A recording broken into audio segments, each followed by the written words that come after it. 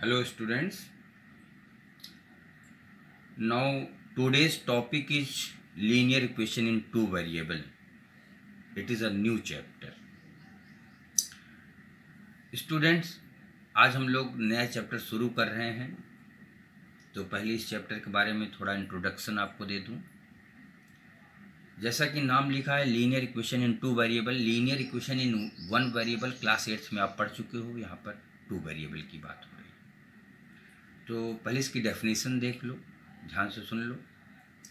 An equation of the form A X plus B Y plus C equal to zero where A B C are real numbers A B C क्या है? A is the coefficient of X B is the coefficient of Y and C is the constant A B C are real numbers A and B both are not equal to zero A और B zero नहीं हो सकते, जो कि coefficient of X and Y है। Is called linear equation in two variable तो उसको हम linear equation in two variable कहेंगे। तो ध्यान रखना है कि अगर दो वेरिएबल की इक्वेशन है तो उसमें एक्स और वाई दोनों मौजूद होने चाहिए। दोनों के कोफिशियंट ज़ीरो नहीं होना चाहिए। सी ज़ीरो हो सकता है। सी के बारे में हमने नहीं कहा है। हमने कहा ए और बी ज़ीरो नहीं हो सकते, क्योंकि वो coefficient of X and coefficient of Y. है ये खास इसकी बात है। तो स्टूडेंट, कुछ एग्जाम्पल्स मैं आपको देता हूँ। जैसे two X plus three Y plus four equal to zero. या एक्स माइनस वाई माइनस या plus five equal to zero.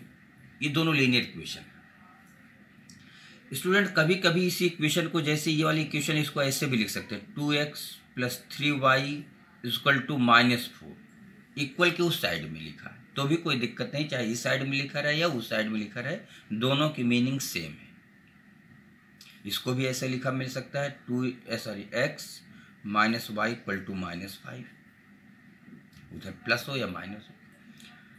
अब स्टूडेंट्स एक इक्वेशन मैं और लिख रहा हूँ। ये फ़र्स्ट था, ये सेकंड हुआ, या थर्ड है। Two X plus five Y equal to zero अब ध्यान से देखिए, इसमें सी वाला टर्म है नहीं। सी वाला टर्म ज़ीरो हो चुका है। तो कोई बात नहीं it is also linear equation अब हम कुछ लीनियर इक्वेशन की बात और करते हैं। Suppose that it is written as X by four plus Y by three plus five equal to zero students ये भी लीनियर इक्वेशन है। ये देखने से लग रहा है कि ये इस फॉर्म में नहीं है, लेकिन ध्यान से देखो। One by four X plus one by three Y plus five equal to zero यहाँ ए की value one by four B की वैल्यू वन बाई थ्री और सी के प्लेस पर फाइव लिखा है।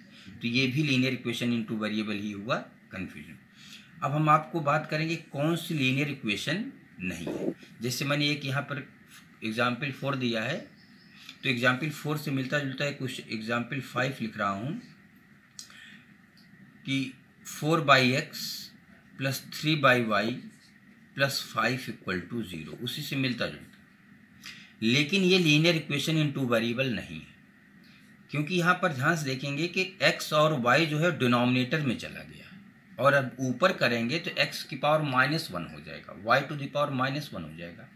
मतलब कि ये देखने से लग रहा है कि लीनियर इक्वेशन जब ये है तो ये भी हो सकता है, लेकिन it is a not a it is not a linear equation ये लीनियर इक्वेशन नहीं है, ध्यान रखना पड़ेगा लीनियर इक्वेशन नहीं है।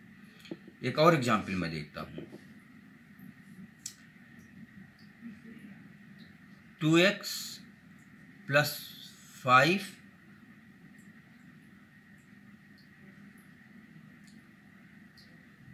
और minus five equal to zero अब स्टूडेंट्स इसको ध्यान से देखना है कि ये लीनियर इक्वेशन तो है but linear equation in two variable है linear equation in two variable नहीं है.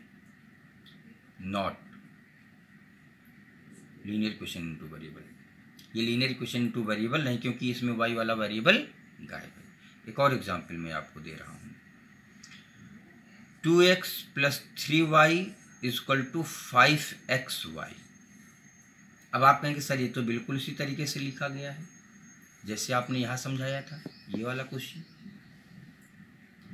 स्टूडेंट यहाँ देखना पड़ेगा कि two X plus three Y तो ठीक है, लेकिन फाइव के साथ जो एक्स वाई लग गया है, ये सी कांस्टेंट होता, पूरा कांस्टेंट होना चाहिए वेरिएबल उसके साथ नहीं होना चाहिए। इसका मतलब हुआ कि it is not a linear equation two variable ये लीनियर इक्वेशन टू वेरिएबल ये भी नहीं है। अगर केवल फाइव होता तो linear equation in two variable होता। तो आज के इंट्रोडक्शन में सिर्फ़ मैंने ये बताया कि कौन सा linear equation in two variable है और कौन सा linear equation in two variable नहीं है। तो स्टूडेंट्स एक और ख़ास बात मैं इसमें समझाना चाहता हूँ। जैसे पहली इक्वेशन आपने देखा two X plus three Y plus four equal to zero अब इसमें पूछा जाए कि ए की वैल्यू कितनी है तो now A equal to two B equal to three C equal to four